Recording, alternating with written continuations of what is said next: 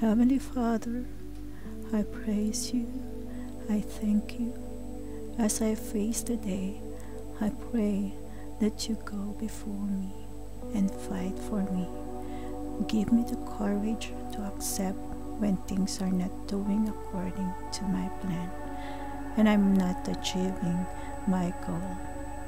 Lord, I ask you to change my heart, a trusting heart, so that I can put my trust in you and I will not lean on my own understanding because I know you are working according to your plan and you cause everything to work together for my good. There are times I may not fully understand what is happening in my life. Help me to focus my sight to you, Lord Jesus, because your ways are higher than my ways, and your thoughts are higher than my thoughts.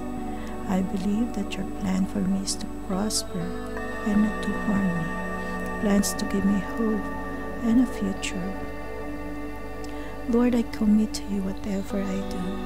I believe you will establish my plans. Help me to do everything for your glory. Lord, teach me to discern your voice so that I may know your direction in my life. There are times I believe I am right, but at the end, I am completely wrong. I commit to you whatever I do. I believe you will establish my plans. Help me to do everything for your glory. According to Psalms 37:23, the Lord makes firm the steps of the one who delights in him.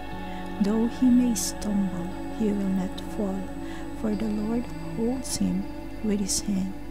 Thank you, Lord, for your promise. Amen.